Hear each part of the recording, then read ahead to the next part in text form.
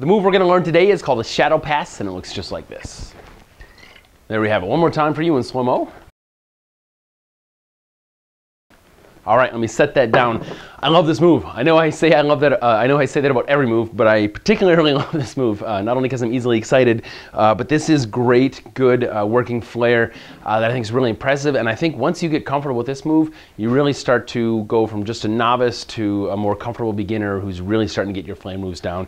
And you can do a lot of fun stuff with this and incorporate it. So it's called a shadow pass because it is a no uh, look catch. So I'm going to set that down, pick up my practice bottle here. Um, the pointers that I have for you for this, um, one, safety first. You're throwing a bottle uh, essentially at your head.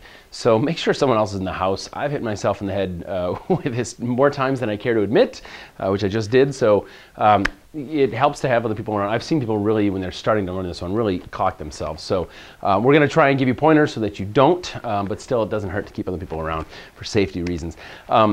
The other thing is uh, you want to, you'll notice when I do it, I really lean forward. I'll come from this angle here and you'll see that I really uh, kind of like I step in and I step forward. I'm not ducking out of the way of it, but it's just giving that a little leeway right over the back of my neck uh, so that I can catch it.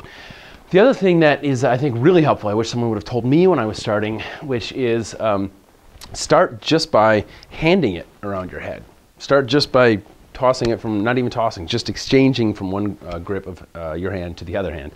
And then once you're comfortable with that, we're going to go ahead and just do a one inch toss and then a two inch toss until we can get a three inch toss and get a couple more and a little more until we get more comfortable coming all the way across our body here and really seeing how far we can let this one go. I think the secret to getting comfortable with this one is just starting small until you can slightly get bigger and bigger because that's the way you're going to be. The toughest part about this is not looking and still catching it. Your hand's got to be in the right position to get a hold of it. And speaking of that position, what we want, I don't want my wrist turned this way to grab it. I really want, um, should be facing you, should be so right like this. Put your hand on your side of your head, come away like that, and that's how I want to catch the bottle in these fingers.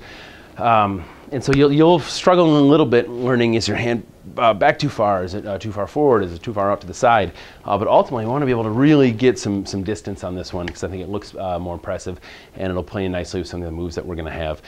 Uh, there was one other pointer I wanted to say about this shadow pass, um, and that was, oh, don't try and look at it. Um, not only is it not more impressive, it's going to be insanely more difficult because if you turn your head real quick and try and watch where the catch is going to be, you're not going to catch it. Um, there's, it's just uh, almost impossible for your eyes to catch up and figure out and coordinate where that's going to land. So really just focus on your throw. Like I said, doing these little ones will help, but as you get further and further away, what you want to watch is the throw because by looking at your throw, you're going to know where to put your hand. So we can come all the way out like so. So watch that throw. Make sure someone else is around. Be safe. Good luck with this one. And as always, practice, practice.